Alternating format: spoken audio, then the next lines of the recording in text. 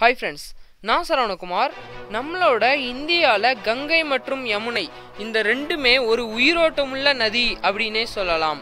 அதே மாதிரியான ஒரு நதி ரஷ்யாவில் இருந்து இப்போதைக்கு அந்த நதியில இருந்து ஒரு சொட்டு தண்ணீர் கூட குடிக்கிற அளவுக்கு இல்லை அப்படின்னு சொன்னால் உங்களால் நம்ப முடியுதா? எஸ் இதற்கு பின்னாடி அப்படி என்ன நடந்துச்சு? அவ்வளோ பெரிய நதியை என்னதான் பண்ணாங்க அப்படின்னு சொல்லி இந்த வீடியோவில் ஃபுல்லாக பார்த்துடலாம் சப்போஸ் நீங்கள் இந்த வீடியோவை வேறு எந்த சேனல்லையும் கேட்டிருக்கிறதுக்கு வாய்ப்பில்லை. சப்போஸ் இந்த சேனலில் நீங்கள் இந்த வீடியோவை ஃபஸ்ட்டு கேட்குறீங்க அப்படின்னா மறக்காமல் சப்ஸ்கிரைப் பண்ணிக்கோங்க. ஏன் அப்படின்னா இந்த உலகத்தில் எது வைரலாக நடக்க போகுது அப்படின்னு தெரிஞ்சாலும் நாம் உடனுக்குடனே இந்த வீடியோவில் முழு விவரத்தையுமே அப்லோட் பண்ணிடுவோம். ஸோ மறக்காமல் இந்த சேனலை சப்ஸ்கிரைப் பண்ணிக்கோங்க. சரி வாங்க வீடியோக்குள்ளே போகலாம் ரஷ்யாவில் சைபீரியா அப்படின்ற ஒரு பிளேஸ் இருக்கிறது எல்லாருக்குமே தெரியும். ஸோ சைபீரியா அப்படின்றது வேற எங்கேயும் இல்லை. நார்த் சைபீரியா அதாவது ஆர்டிக் சர்க்கிளுக்கு பக்கத்தில் இருக்கிறது தான் இந்த சைபீரியா. அந்த சைபீரியா அப்படின்ற பிளேஸில் அம்பர்னையா அப்படின்ற ஒரு நதி ஓடிக்கிட்டு இருந்துச்சு. அந்த நதிக்கு பக்கத்தில் நார்னிக்கல் அப்படின்ற ஒரு பிளான்ட் இருக்குது இந்த பிளான்ட்டில் புலானியம் நிக்கல் காப்பர் பிளாட்டினம் இந்த மாதிரியான நிறைய பொருட்கள் அந்த பிளான்ட்ல உருவாக்குவாங்க.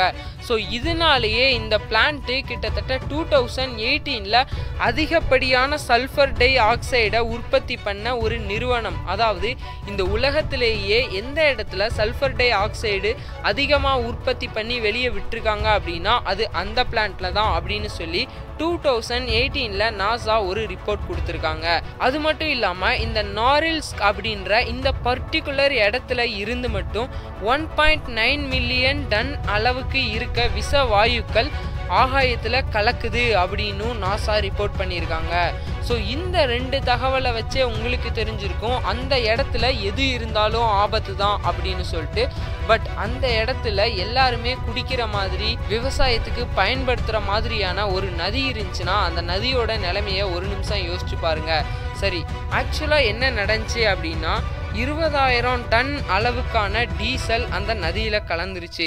அந்த நதியில் கலந்து கிட்டத்தட்ட எல்லாமே ரெட் ஆனதுனால அங்கே இருக்க அந்த மேயராக இருக்கட்டும் இல்லை ரஷ்யாவோட அதிபராக இருக்கட்டும் இவங்க ஒன்று டிக்ளேர் பண்ணியிருக்காங்க. அது என்ன அப்படின்னா நாங்கள் நாரில்ஸ்க் அப்படின்ற அந்த பர்டிகுலர் பிளேஸில் எமர்ஜென்சியை டிக்ளேர் பண்ணுறோம் அது மட்டும் இல்லாமல் இந்த நதி மறுபடியும் பழைய மாதிரி நமக்கு கிடைக்கணும் அப்படின்னா அதுக்கு கிட்டத்தட்ட பத்து வருஷம் ஆகும் அப்படின்னு சொல்லி புதின் கூட சொல்லியிருக்காங்க. ஸோ இதை வச்சே உங்களுக்கு தெரிஞ்சிருக்கும் அந்த நதியோட நிலைமை எந்த அளவுக்கு மோசமாக இருக்கும் அப்படின்னு சொல்லிட்டு.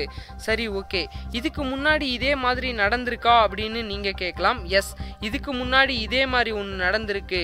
டூ தௌசண்ட் சிக்ஸ்டீனில் சேம் கம்பெனியில இருந்து சில விஷவாயுக்கள் வெளியே வந்து அது மட்டும் இல்லாமல் சில விதமான கெமிக்கல் கூட அப்போதைக்கு அந்த நதியில் கலந்துருக்கு.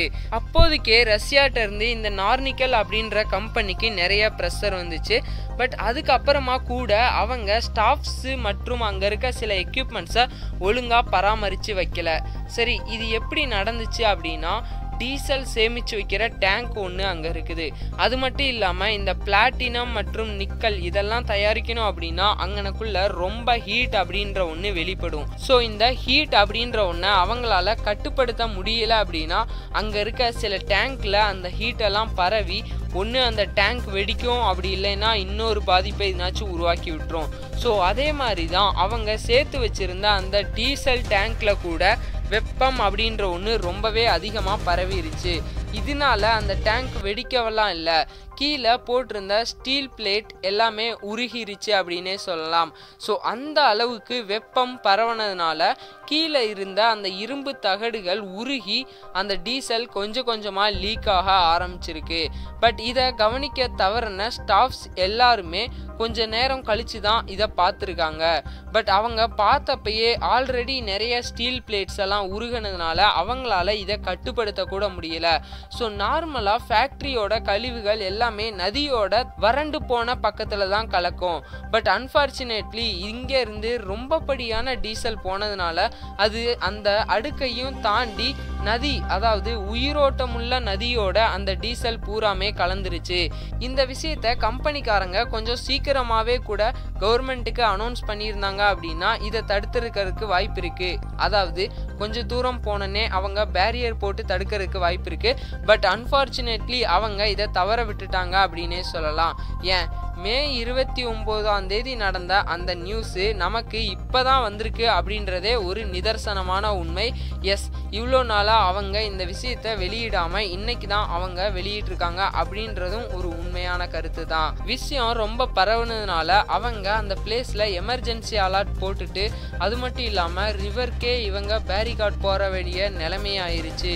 ஸோ இதை பற்றி நீங்கள் என்ன நினைக்கிறீங்க அப்படின்னு கீழே கமெண்ட்டில் சொல்லுங்கள் சப்போஸ் இது மாதிரியான வீடியோஸ்லாம் உங்களுக்கு வேணும் அப்படின்னு நினச்சிங்கன்னா மறக்காமல் நம்ம சேனலை சப்ஸ்கிரைப் பண்ணிட்டு பக்கத்தில் இருக்க பெல் ஐக்கானையும் கிளிக் பண்ணிடுங்க அடுத்த வீடியோவில் பார்க்கலாம். அதுவரை உங்களிடமிருந்து விடைபெறுவது சரவணகுமார். பபாய்